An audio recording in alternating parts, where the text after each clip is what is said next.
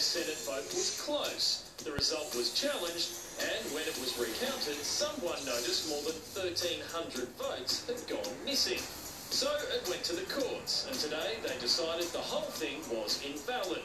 Basically, they said because there were missing ballots, they couldn't be certain as to the outcome. The outcome was therefore likely to be affected, and in the circumstances, it was therefore just that there be a new election held and the election declared void. Now we've just got to wait until Thursday when the judges will return to tell us what they're going to do about it. That means six upper house Senate seats that are due to change over at the start of July are still up in the air. And every single law the government plans to pass, including repealing the carbon and mining tax, is riding on however this plays out. So if the original poll was no good, is the only option left for WA to do it all over again.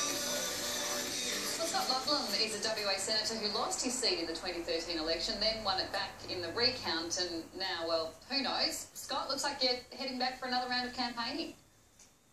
It is looking increasingly likely. Uh, they haven't fired the starting gun yet, but I think we're, we're very close now to heading back to the polls. Scott, have you kept the old bumper stickers from the last election? And uh, will you kiss the same babies in this election, even though they will be three or four months older? I love recycling. I'm in the greens. Why not recycle the whole election?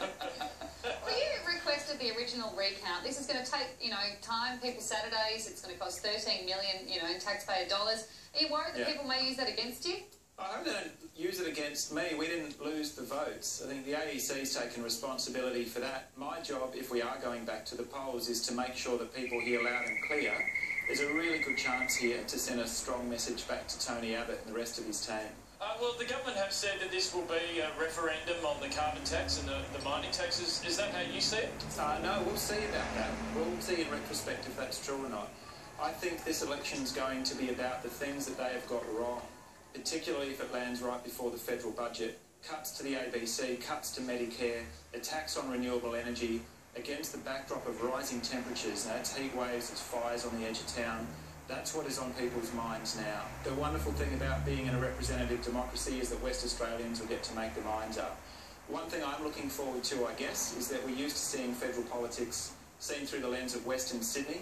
What a unique opportunity to see things through the lens of Western Australia. Are you worried at all that Clive Palmer could just come in and buy the election?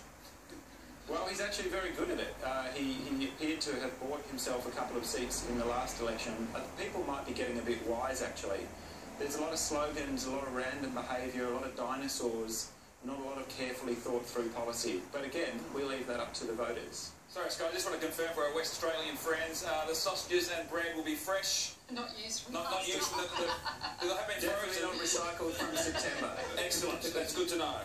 Uh, well, all the best for the upcoming election, Scott. We'll, we'll see what happens. All right, thanks, guys. Talk to you again. We're going to take a break.